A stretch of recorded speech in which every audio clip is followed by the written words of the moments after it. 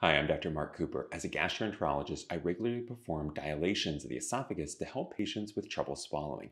Recently, a patient asked me about self-dilation. Watch this video to learn about various dilation techniques, including self-dilation, to understand the recommendations your GI team makes. Certainly, some patients have wondered if they could dilate themselves, and I think they and many doctors would be shocked to learn that yes, that is a possible technique. It's actually been researched for over 50 years, and within the last 20 years, there's been a growing movement of doing this.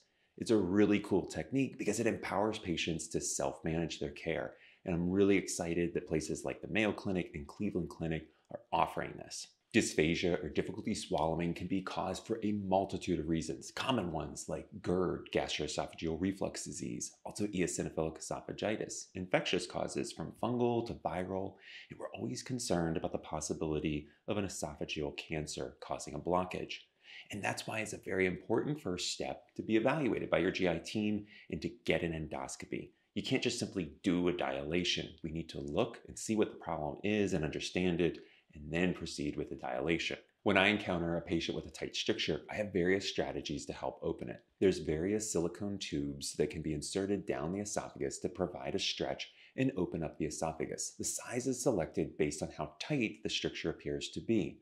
When it looks really tight, I can use a specialized scope that's smaller to pass through. And we can also use a balloon that gives a graded response to stepwise open it up under direct visualization. That's a very helpful technique for these very tight strictures. At times, if there's a deep break that is at risk of scarring up, then I'll inject that with medications that help to reduce the risk of that scar reforming. If a patient has required many dilations and still has difficulty swallowing, they may benefit from self-dilation. In the past, our best option was to place a stent that expanded over time and helped to support the stretch. But that doesn't always work that well. And so I think it's really exciting for patients to have the opportunity to take control of this process. Now, patients have to be carefully selected. First of all, they have to have a benign cause of their stricture. And what that means is they should not have cancer because obviously that needs to be treated for their cancer.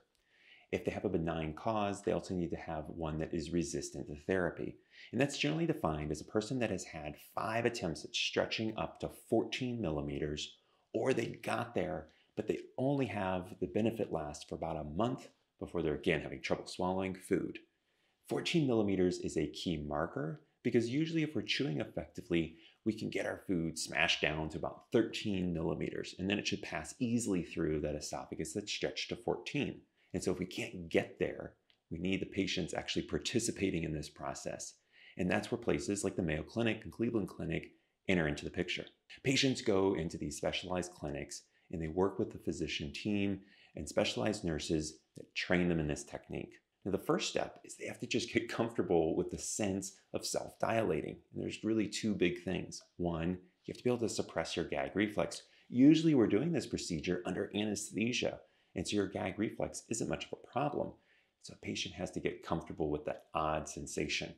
And the next thing they have to grow comfortable with is pushing a long silicone tube down their esophagus having a sense of how much resistance they should feel and getting comfortable with giving it a slight push enough to stretch and get results. Patients are always starting with an endoscopy performed by the gastroenterologist, and they're stretching the esophagus enough to get the patient to a point where they can now start to get comfortable with an 8 millimeter bougie, which is the name for the silicone tube. They then work at 8 millimeters, 9 millimeters, 10 millimeters, mastering the techniques.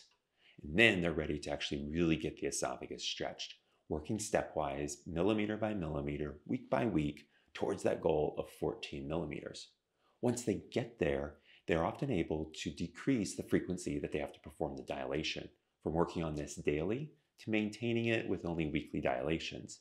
Endoscopies can always be performed along the way. If a patient grows uncomfortable and they have the sense that they're having to push too hard, then we may need to go back down with a balloon to get a bigger stretch at a key little ring or stricture that has to be opened up. What's really cool about the research on this technique is that it's not only been performed in adults, but also in children and in all sorts of disease processes. Not only the common GERD, but also eosinophilic esophagitis, and even patients who had esophageal cancer who now have scar from surgical removal or from radiation injury.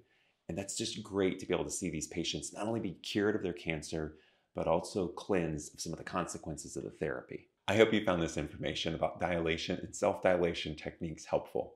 Please watch the videos linked below where we cover more information about endoscopy and causes of trouble swallowing. Thank you and be safe.